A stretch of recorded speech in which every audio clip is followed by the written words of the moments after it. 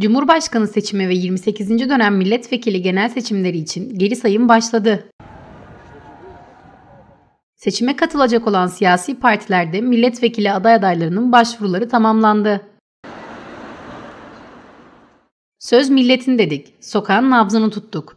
Bolulu vatandaşlara Cumhurbaşkanlığı ve milletvekili seçimlerinde partiye göre mi adaya göre mi oy kullanacaklarını sorduk.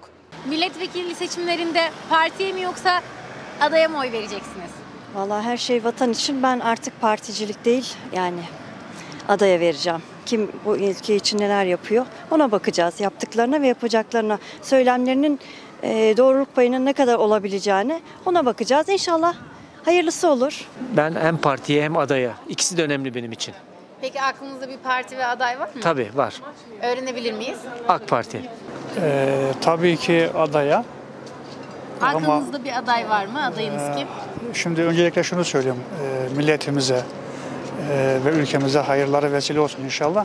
Ama ben şöyle düşünüyorum. Henüz daha zamanımız var. Ancak e, şu anda isim vermeyeceğim. Yani ittifaklar var biliyoruz. Cumhur İttifakı var, Millet İttifakı var ve diğer kişisel adaylar var. Şu anda henüz tercihimi yapmadım. Mikrofon uzattığımız bir vatandaş ise partiyle işi olmayacağı yönünde konuşurken bir diğeri aday değil partiye oy vereceğini paylaştı. Partiyle işim olmaz. Çünkü zamanı geldi mi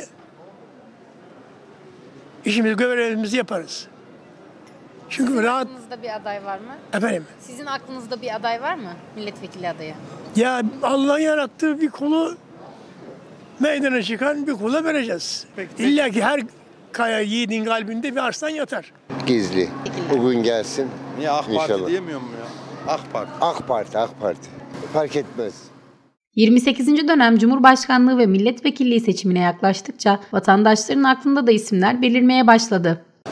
Bollu vatandaşlarımızın büyük çoğunluğu Cumhurbaşkanı ve milletvekilliği seçimlerinde adaya göre oy vereceklerini söyledi.